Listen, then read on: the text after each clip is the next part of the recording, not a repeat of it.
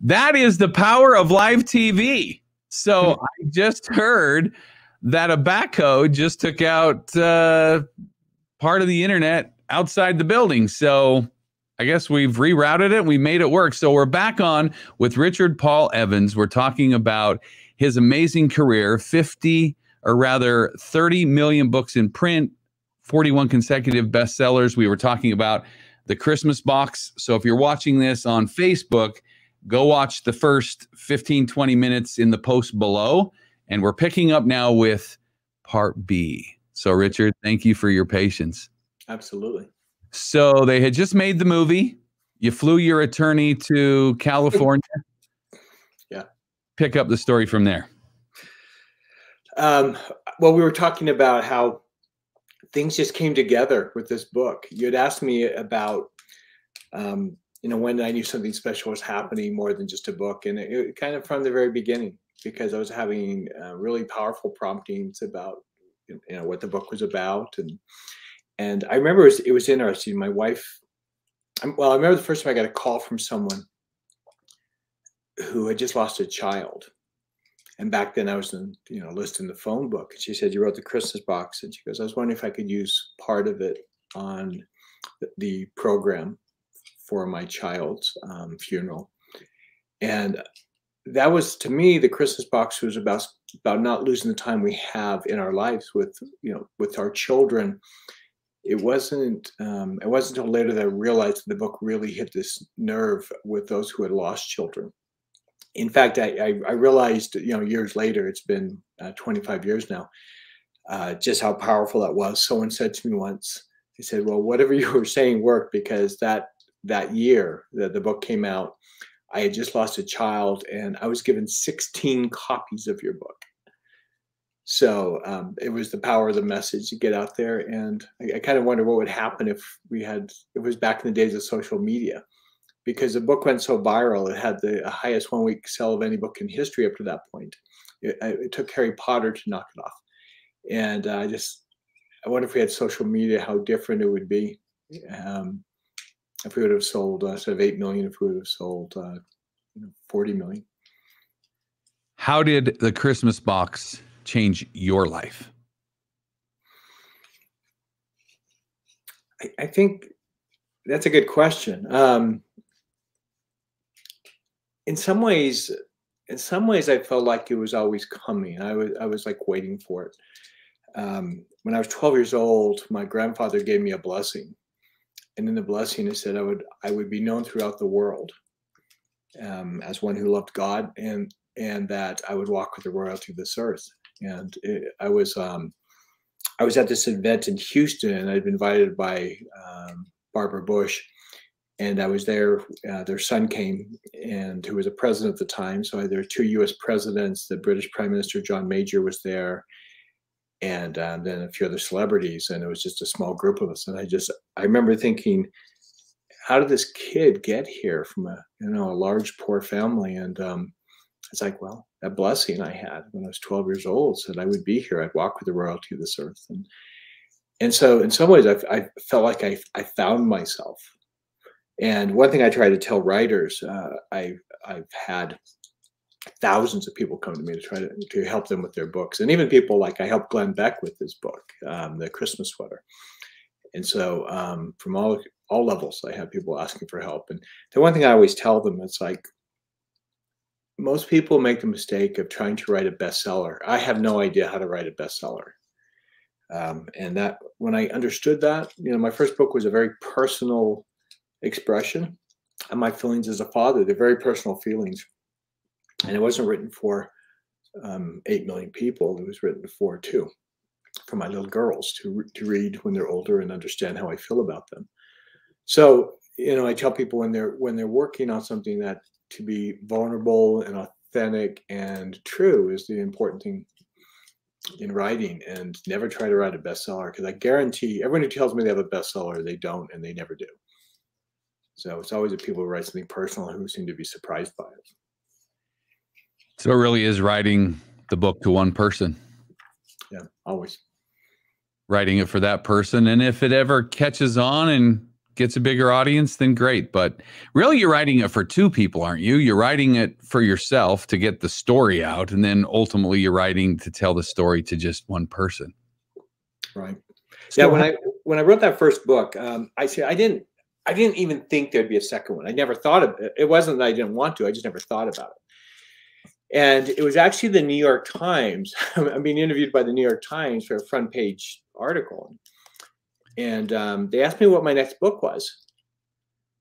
And it, it just hit me like my, my next book. It never crossed my mind until that point. And uh, I was like, well, that's that's a good idea. And well, so when the book went up to an auction, and the Christmas box sold at an auction along with rights to the next book for four and a quarter million dollars and um, that was a big life change you know because at, that point i was making uh, 30000 a year in advertising and um, and it's like all of a sudden to go into this new financial realm and um, but I, I started to try to write this book. They paid me millions of dollars for my second book, and but I didn't see it that way.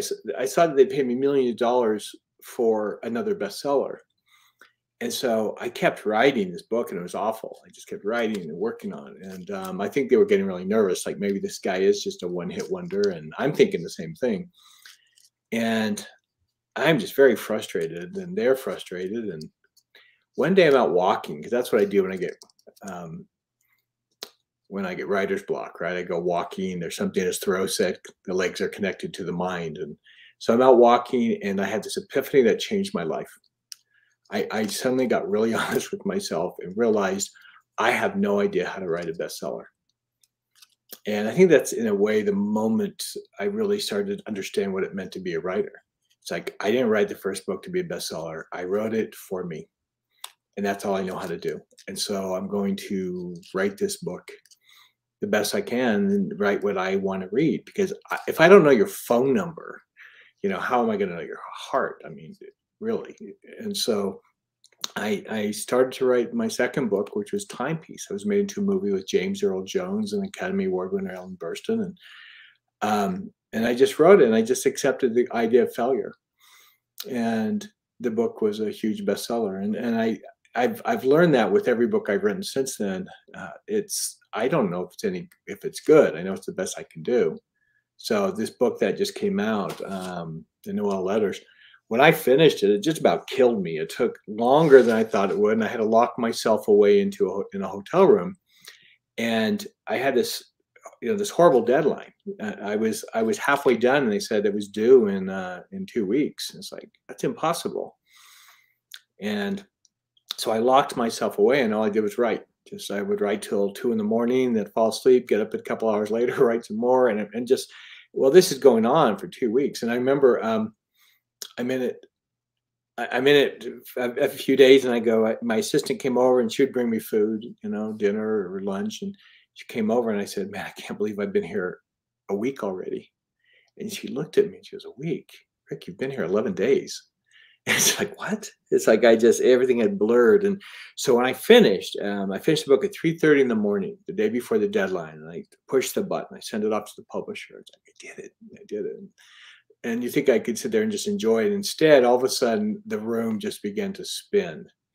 And it's like, I, I don't know if I'm going to pass out or throw up or both, but it's like I was really sick and I just, I curled up in a ball and I lay there for hours. And, um, and you know what happened was I, at that moment, I, um, I, I, well the next morning I called my assistant. I said, "You need to come get me." I said, "I'm really sick," and I and Carrie came, and we have a ranch in southern Utah, and um, I just I put a cold pack on my head, and just we just drove right. We just drove down there, and it took about two days for me to recover. And afterwards, uh, Carrie goes, "Well, how's the book?" I said, "I have no idea." Because you know if you're too you, you know you're too close to the you know the forest to see the trees and it's like i'm i'm my head stuck in the tree i can't see anything. And so she read it. She i gave it to her and she read it. And she finished she goes this is the best thing you've ever written. I go what? She goes no this is my favorite book of yours. It's like i have no idea you know i just wrote what i could. So um and the book if you look at the response and reviews it's um it's doing extremely well and, and people you know, people love it. Um, so, but uh, you know, just do what you can do. You just you just write the best you can. You write something that you hope is meaningful. But what I do know is that it's meaningful for me. And so, um, when I wrote the Michael Vey series, it was the same thing. Uh, we I wrote it because I was always that comic book guy. You know, I would save up my money and I'd go out like rake leaves and take my 75 cents, go down and buy a comic book and um, a hostess apple pie. I mean, that was life was didn't get better than that. And uh, and so when I wrote Michael Vey, it was interesting. No one wanted it, and we kept shopping it. And I remember my agent called me and she goes, "This is the best thing you've ever written, and I can't believe we can't sell it." And I said, "She goes, Are you worried?" And I said, "Not at all. I don't worry about it." I said, "I have another book that no one wanted. It's called The Christmas Box." and it's one of the biggest books of the century. I said, "Don't worry about it; uh, it will find itself." And sure enough, it was actually um, the radio show host Glenn Beck who found the book and said, "I want to publish this." And it, um, I remember we released the book. They, my, the initial um, offers they gave is that they thought the book, the whole series, would sell thirty thousand copies in its lifetime. The entire series, we sold more than thirty thousand copies the first day of the first book. Wow. Um, it's it's sold more than three million copies, and and there's even more than that because I now realize I'm getting all this fan mail from Iran, and some of these countries that it's like I, I that I didn't know I was in. I called I called my agent. I go, what? I first of all I found out the language is Farsi, and I start writing, and someone write back. It's like we're we're in Persia. I don't say Iran, they say Persia. And I said, do we sell the rights to Iran? She goes, no, they just they just pirated it they don't we don't have copyright laws with them, so they just took it, and so I have this huge following in Iran now. And I did a um, a, a Skype with um, in Saudi Arabia, and they said it was their favorite book in their school, and you know the kids were from Jordan and Syria and and it was Pakistan. It was just really interesting just seeing that books have a, a, way of connecting. And this is the book no one wanted. You know, no one wanted Michael Vey, and I just said, let it let it go. The book is I know it's special and I know I love it. I, I just love the book, and so we'll figure it out. People will figure it out. It's worth it, and I get that little consolation cause that everyone that turned down the Christmas box, and there's a whole list of publishers that turned it down, lost at least thirty-five million dollars, at least. Wow! And it's like so. I kind of got the last the last laugh. I've had people introduce themselves as, "I'm the one who rejected your book." I'm I'm the person who rejected you. What lesson can you share with our audience about that? That you stay true to who you are, you stay true to your mission, you stay true to your your message regardless of the naysayers and critics. Regardless what you believe your calling is, right? Whether it's an author, a speaker, the best milkman in the world, a school teacher, an executive, but you feel that it's your calling or it's actually divine that you should do something, how do you squelch those critics and naysayers and even your own internal saboteurs? Because I don't know if you dealt with the uh, imposter syndrome at all, but talk about just the adversary trying to keep you away from what you're supposed to do. Well, you know, I think we all face that. It, it's every time I I remember someone said, look at this bestseller list. It's like you are one below John Grisham and one above Stephen King. I'm like in this pack of these authors, these famous authors. And said, it's like, one of these authors does not belong. It's like, it, it just, it's not false humility. It's like seeing my name there always to this day still is weird to me. Um, because, you know, we know ourselves. And so you do, we all have that imposter syndrome because it's like, well, if something's if something just comes to you naturally, you assume it comes naturally to everyone. But but I've had concert pianists. You had Paul Cardall on the other day, and Paul just sat down and started. I had dinner with him last night, and Paul, um, Paul, you know, Paul and I, you know, his first album was the Christmas Box. You know, I met him. I met him playing the piano in ZCMI Center. It's like I I wanted to give him a, a start because I loved listening to his stuff, and and I remember him saying, "Well, anyone can play the piano." but no, they can't. I can't play the piano. And I had an artist say the same thing to me. He's like, you can just paint. Everyone can paint. It's easy. It's like, no, it's not easy. It's just how you see the world. And so I, I guess that the, I think the important thing is to realize, first of all, you never want to live someone else's life or their expectation for your life because they're not you. They don't know you, and it's hard enough to live your own life, let alone to have uh, someone try to live, trying to live someone else's life. So I mean, just that's that's just the way it is. it's, it's like it's not a question of am I going to change what I'm doing or writing. It's like it's just it's who I am, and um, the people who try to change to please someone, they always fail because the, the reality is when I when I write these books, I think you know there's probably not many people who who will relate to this, and then I'm always stunned. I'm always stunned. I mean, like with the Christmas box, there are people who are actually um, smuggling them into uh, Muslim countries and it's like the stories I heard were just stunning. And it's like, you know, the book had its own life. And I can't just replicate it at will. It's like you just you just listen to that voice and you just do the best you can. And that's that's the power. You know, I had this I had this experience, and uh, if I still have it online, there's a um, there's a scripture in First Corinthians um, one twenty seven, and it says, by the weak things I will confound the mighty. By the foolish things I will confound the wise. And um, you know, that described me perfectly. And I remember I was in San Diego and I had just done one of my first book signings. The Christmas box was self-published at the time.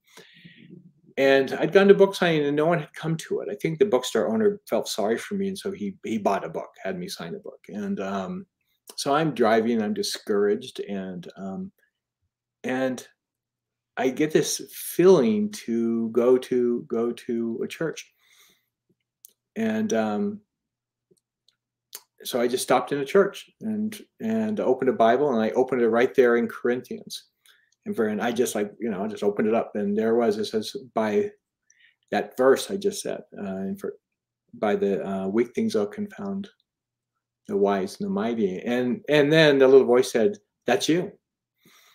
That's you, and it's like I just had a book signing no one came to. I'm I'm no one. And it's like maybe, yeah, maybe, but I am. I can do I can do powerful things with you. And that's the that's the thing. I would um I'm really grateful for the inspiration I receive. Um, I'm far too terrified to um, take credit for it uh, because it, it all that's when all of a sudden it goes away and so um, I still hear the voice. I still have inspiration that comes to me. And uh, if you anyone who's read Stephen King's book on writing, he talks about um, someone asked him how he gets the ideas, where he gets the ideas for his books, and he says, um, or how he makes them up. He says, "I don't. The stories already exist. I just discover them. I'm like an archaeologist. And the reporter said, "I don't believe you." And he goes, "Well, that's fine, just as long as you believe that I believe this." And when I read that, I thought, "Oh, I, I totally get that," because you know, I told my agent, and I said, well, if I hadn't written the Christmas box, I think someone else would have. Mm. She disagreed with me, and it's like, I don't, I don't know. It, it, just had this life and this mission, and it just keeps. I think it was supposed to exist, and it seems like it existed before me. That's just how it feels. I was talking to Paul about this last week, and he said it similarly that it comes through us, not to us.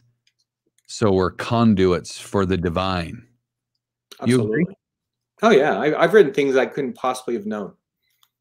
In fact, even in Michael Vey, there's a, there's this tunnel they escape out of, and I talk about when they go through this tunnel in South America. There's this condens, con, uh, there's condensation at the end of it, and that vipers would would be there. And um, I get contacted by by an executive with one of the major um, one of the major oil companies. He goes, "How did you know that?" I go, "No, what?" He goes, "That the vipers hang around these end of these pipes." And I said, "Honestly, I didn't even know there were pipes. I just made this up." And he goes, "That's exactly what happened. You described it exactly as it is." And another, even even more peculiar, is in my book Timepiece. Um, one of the characters, name is Lawrence Flake, and he was a Buffalo soldier. So he was an African American man who served in the military in an all all black um, unit. And he came to Salt Lake City and was at Fort Douglas Country Club, and I, or excuse me, um, not Country Club, but, but Fort Douglas up there by the U. And after I write this, I go back and do some research and, and find out that there actually was a Buffalo Soldier unit that moved in there during that time. And it's like I had no idea. I just I was just thought, well, I'll just make it convenient and put it here. And then about a year later, um, a, a black woman came up to me and she goes, "How did you get our family history?" She goes, "That was my great grandfather." And that was his name, Lawrence Flake. And I, I was just stunned. It's like, you gotta be kidding me. She goes, no, that's what you wrote was all true. And I had no research. I just, it just what came to me. And I just, it was just this, this confirmation that we do receive inspiration. And it's happened, it's happened more than once. And when I get writer's block, it's usually because I'm trying to force something to write something that that's wrong. You know, it's like I'm trying to pave a road that isn't there or go down a road that isn't there. So it's it's always an amazing experience and it hurts every time you know in x-men when the when the claws comes comes out and um who's the gal who says to him she goes does it hurt and he goes every single time every book hurts wow so that Carrie got really nervous because I was putting the book off. She's like, just do it. Just go right. I go, you go right.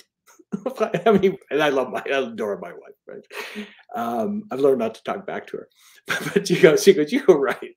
I go, you go right. I go, give me one, give me one chapter. I go, no, give me one page that will stand up to international scrutiny. She's like, I can't do that. It's, I go, exactly. It hurts. That's why I put it off until I have to. That's a great example of when the Wolverine has the claws come out. It hurts. It hurts right? time.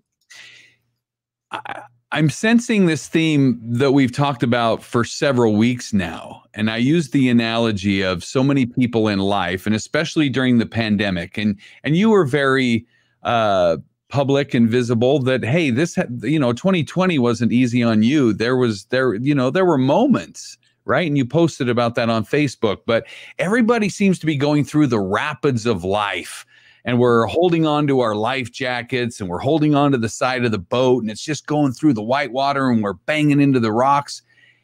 And then you're describing for me something that has really come to me in 2020 and now here in the new year is you know what we're we're the ones who put so many of those rocks in the river they really were self-imposed chaos once we clear those out i'm not saying it's a lazy river but the river's calmer. And then to stand up and raise the sail and surrender to the divinity is uh, a pretty amazing experience that not too many people are doing or have done. And it sounds that's like that sounds like what you do when you write is you give it up, you surrender to it. Yeah. Yeah. I mean, that's not taken away. It's a tremendous amount of work it's like my friend David Baldacci says, it's like doing your tax returns a thousand times.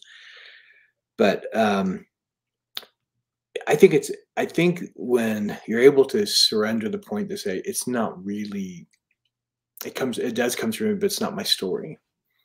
And, um, but I've been assigned to write it. And that, that, there's a power that comes in that surrender. But surrender some, sometimes sounds easy and it's like no, you have to chase it. And I wish sometimes I wish I had a job that was much more predictable. You know, if you're building a building, you can show up. My dad was a builder, and it's like you know what you're going to get, and you can. And doesn't matter where you are, you can move ahead. Um, some days, as a writer, you show up and there's no lumber.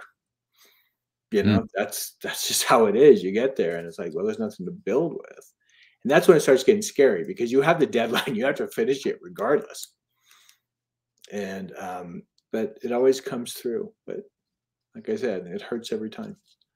It's work, still work. I'm yeah. glad you're underscoring that. It's still work. Yeah.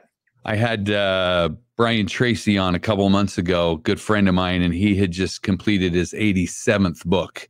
So, and he was saying it doesn't get any easier, and his are different than yours, right? His take research and synthesizing other material. So it's a it's a different labor of love, but it's still work. Let's talk about the Christmas box house.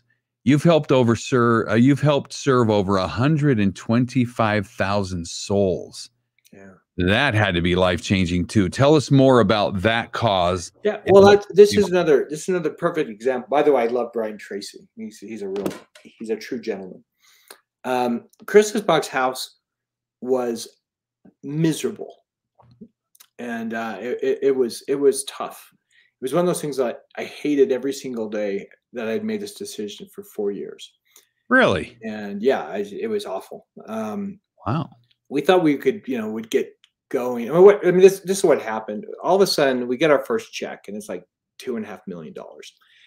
And so we start meeting Carrie and I. We don't. We're we're in our little Honda Civic with a cracked windshield in our in our um, minivan, and it's like we go meet with some people. It's like, what do we do with this money? How do we invest it? And we go to this place and they we hear these horrible stories about how we have to set up a trust because our kids will probably be destroyed they'll probably be ruined and um, so to keep it from them so they can't just fuel their drug habits and it's like what it's like no this is not acceptable and so we go out to the van and carrie turns to me and she goes well let's just give the money back i'm like well hold on a second it's like i had to provide for this family and um, and then we, we get this really great discussion. It's like, well, why don't we teach children that money is to be used, that money is power. It's not good or bad, and it's to be used to do good or can be used to do good. And so that's where we started the Christmas Box House.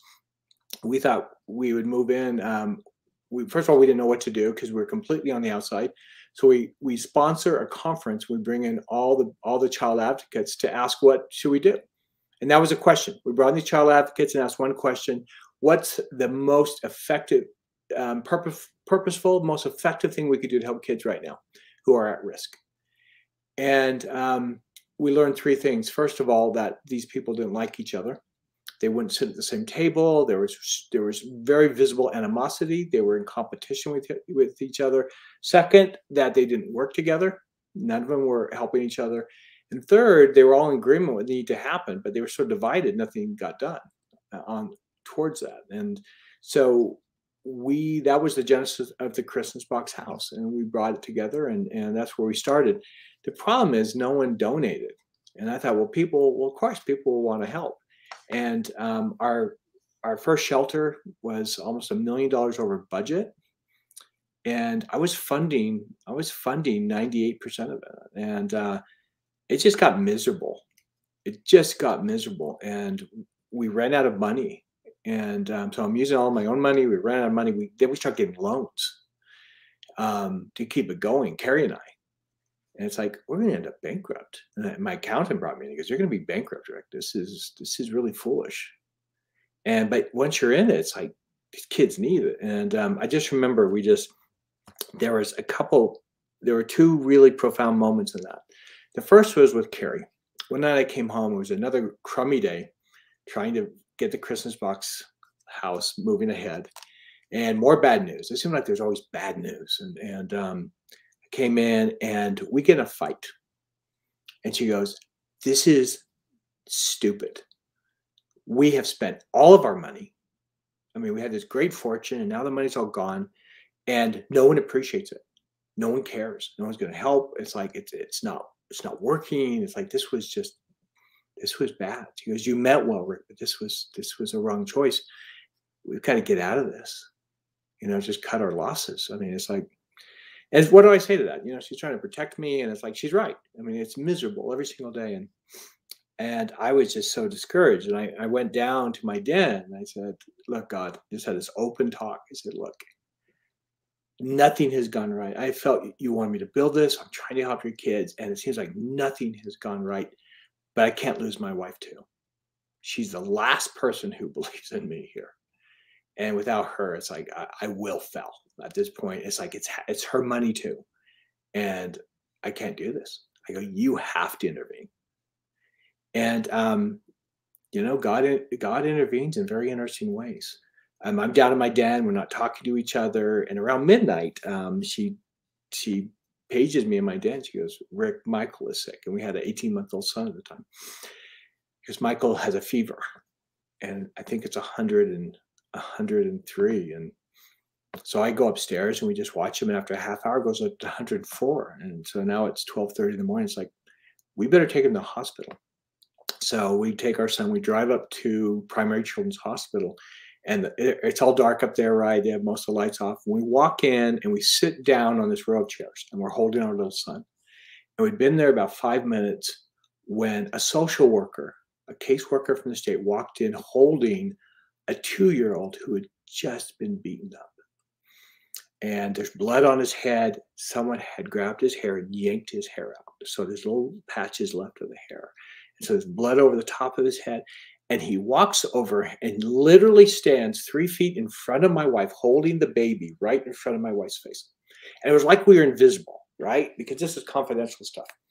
And holds the baby right in front of her and begins to tell the nurse, giving all information, what's happened to this child.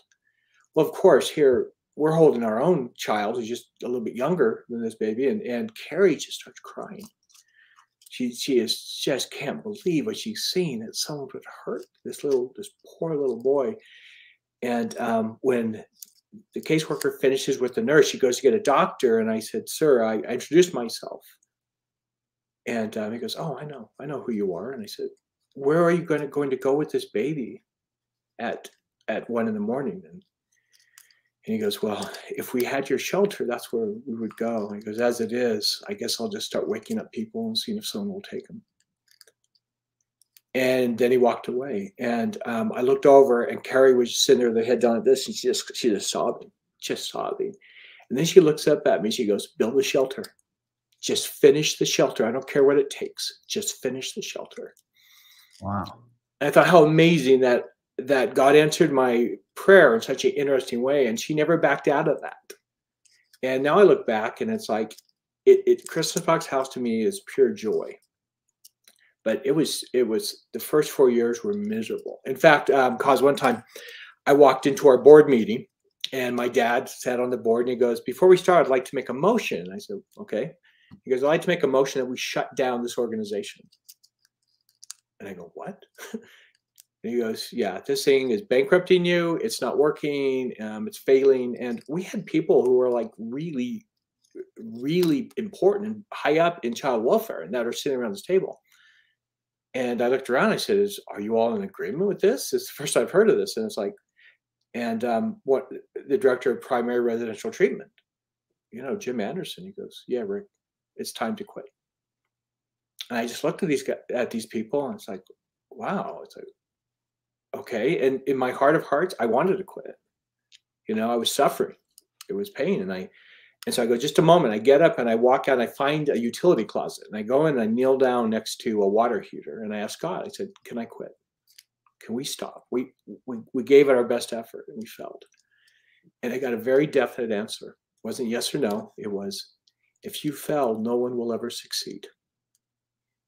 It was that clear. If you fail no one will ever succeed and I'm thinking, darn, it's like I wanted to quit. And so I walked back out there. I sit down. I said, I'm not quitting. And I'll never forget Jim Anderson. He goes, Rick, you don't know what you don't know. You've already lost. You've already felt. The ship is going down. It's sinking.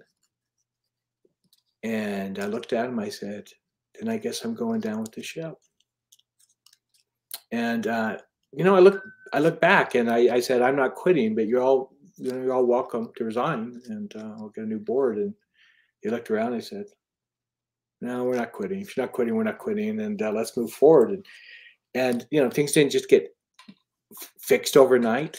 But I look back now and I'm really proud and grateful for those moments because those those are the moments that are those little these little junctions, and it's like, you know, I look back and those are the things I'm most proud of in my life when it's like the war's already lost, but I fight because it's if I fell, I fell with glory, and and uh, that's what we did. And now I look back and um, I run into kids everywhere.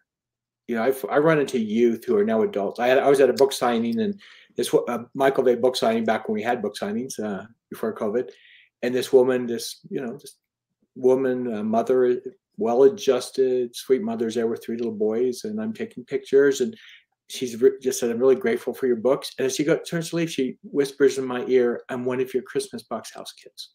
Wow. And it's like, you know what? This is, it was worth it. I mean, Keri and I suffered. I mean, panic attacks and just everything we went through for this. But how grateful I am that I stuck with it And um, it's like, what is what is one man suffering? When you realize all of these kids have suffered more than I have, and that there's more than 125,000 children we've been able to serve, and now we're getting ready to move nationally. And I'm I'm so grateful. I love that Rick Evans back then. I'm so grateful that he he decided to make the hard choice because I wouldn't be where I am right now had he not made some hard choices. And you know what I'm talking about, cause you know you you've made choices in your life that put you right here where you are. You went through some really difficult times, and so you have to look back and say, "Hey, I love I love that man. I love that man who said, you know what? I'm gonna I'm gonna pull myself up and I'm going to I'm to change my life, change my stars." And uh, so I'm grateful. But at all those junctures, there's no question that there that God and angels are there that are saying, you know, we're with you and we walk with you. And I, I, I believe that with all my heart. Give us a little time perspective, and there's a little clicking. I don't know if you can adjust that, but um, give us a little time perspective about this time frame then you wrote the christmas box and obviously now you've kind of compressed this into it was this years was this months just give a little time perspective around it's failing, the ship is going down to where it is now because yeah. it wasn't an overnight success. No, no, no, it was long. I wrote it in 1992, the book. I that was just for family. Then I published it the next year in um, 1993, just locally, and it became a local bestseller. The next year, I took it national, and it hit the New York Times that year as a self-published book and that's when Simon and Schuster uh, bought the rights in an auction. And the next year, 1995, it hit number one in the New York Times, and that's when it sold just millions and millions of copies, you know, worldwide. It was in 1996, uh, so right after that, it hit big that I started the Christmas Box House. I see. So it was right then, and then it wasn't. Um, it wasn't until about the year 2000 that we were sure it wasn't going to go down. It's like, okay, there's enough going on here that it's it's going to survive without me. But I put millions of dollars into it, and I also loaned them millions of dollars. And so, um, like, we don't have a retirement. My retirement is in the Christmas box house. We because we Keri and I took out loans, and so um, it, that's what it was like. And then, and then so here we are all these years later and um, i stepped back in full time last september. I i, I didn't uh, we've helped a lot of kids but i thought we could do a lot more.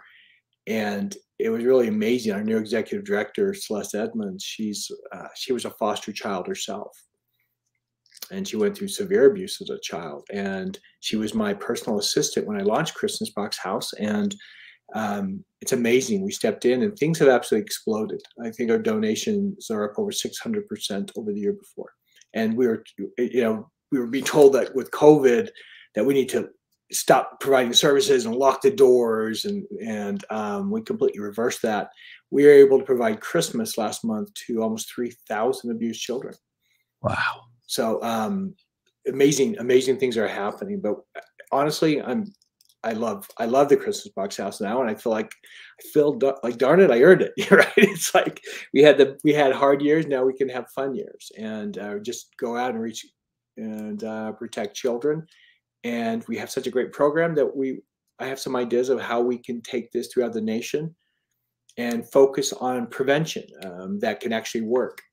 Because the thing is, after you work with a child and and you know you're with a child who's been abused sometimes it's very discouraging because you realize that one person can do damage that will take us years to try to just make up for. And so, um, if we can prevent it, that'd be a much better way to go to begin with. And some things we can do to help prevent that and help give kids a childhood. Tell our audience how they can get involved and donate to the Christmas Box House. Just just go to thechristmasbox.org and uh, we can put it in your chat. But go to christmasbox.org, and what we're looking for right now are people who want to be ongoing supporters.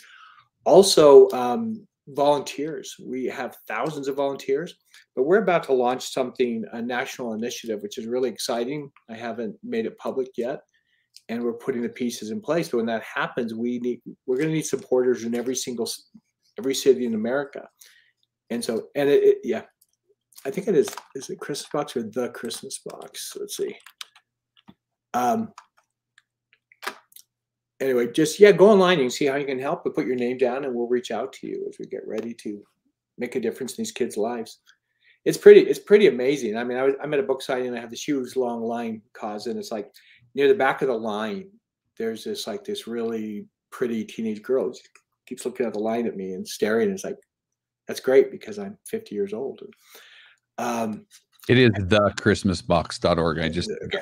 that. So okay. I'll change that here on the lower though. Uh, I'll change that here on the lower third, folks. It's the christmasbox.org. Yeah, thanks.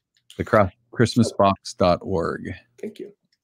So anyway, this gal's in the book sign. She keeps looking at me, and she finally gets up to the point where it's her turn to get her book. And I, I said, "Well, you can come up." And she's like shaking. She's so excited. She goes, "Oh my gosh, Mr. Evans! My whole life I've just wanted to meet you."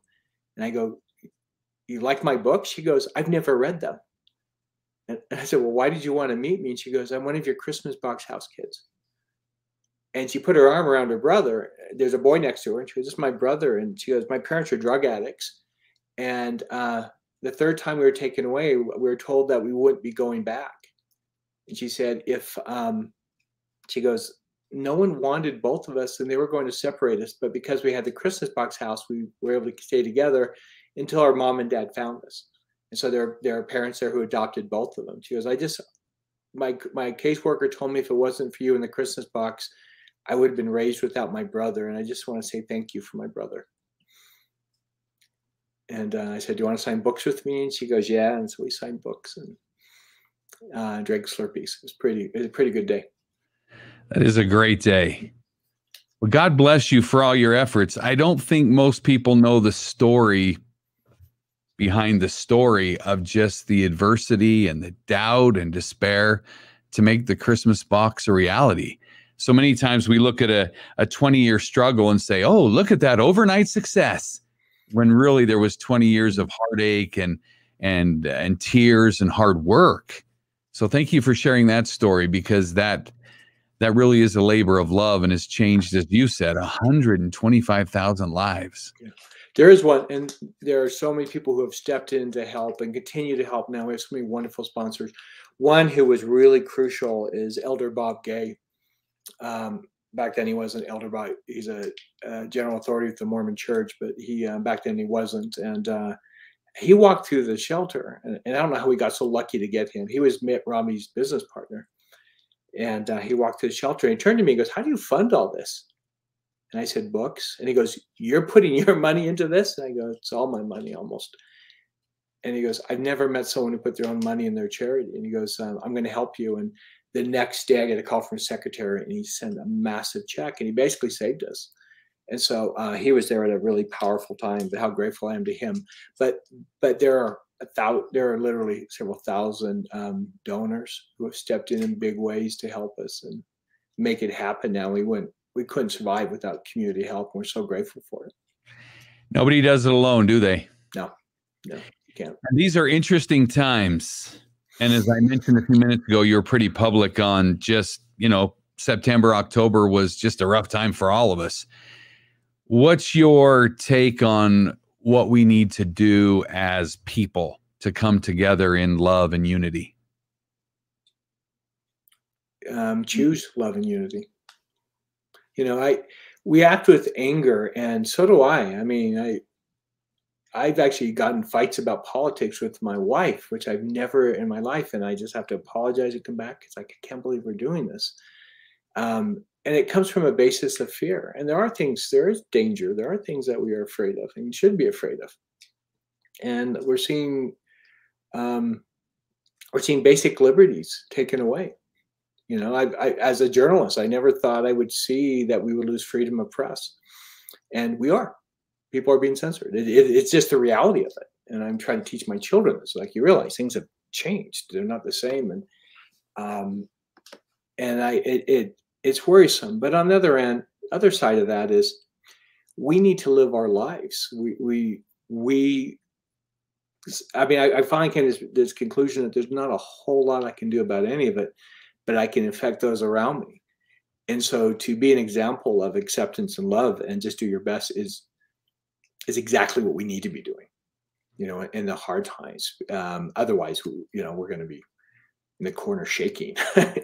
it's like there's always been hard times. The world's always seen difficult places. And you think of people who went through World War II, they didn't know if they're going to be speaking German at the end of it. I mean, you know, we've been through some really tough places. We've seen major protests in our country in the 60s and 70s. And um, so, you know, we, the, the reality is, is just kind of stop and say, look, we're all going to die and sometimes that almost sounds promising. I mean, it's like it's all we, we, no one is here for good. we don't people who, who, try to live forever. I mean, it's like it doesn't happen.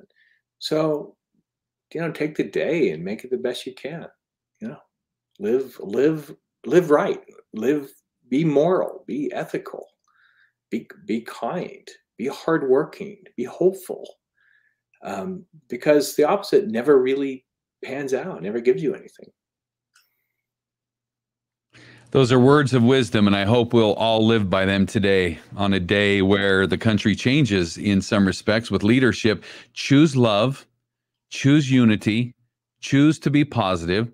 You can be a naysayer, you can be a critic, you can be one to pour gas on the fire that is inevitably going to start to brew in just society because of transitions and times. But choose to be the one who spreads light and love and goodness and you have the power to do that with your memes and your quotes and the things that you post and the things you don't post can make a difference. So think before you tweet, think before you spread your message. Richard Paul Evans, it's been an absolute pleasure. Apologize for our technical difficulties. We'll no switch problem. our internet provider. You were very good to. Hey, it even happens on the best. It happens when you're on the Blaze. I know Glenn loses guests all the time, so there's uh, there's no guarantees. His website is richardpaulevans.com. Richardpaulevans.com. At the uh, end of our discussion here, we were talking about the Christmas box. You can get involved at thechristmasbox.org. Thechristmasbox.org org. Thank you so much again, Richard, for your time, and God bless you for all your efforts. You. I, I mean that sincerely. You're a good man, and just not enough good can happen to you and the lives that you're changing. So, my invitation to our audience is please, please get involved. And as we always conclude the show with this simple, simple challenge shine brightly because someone out there needs to be guided by your light.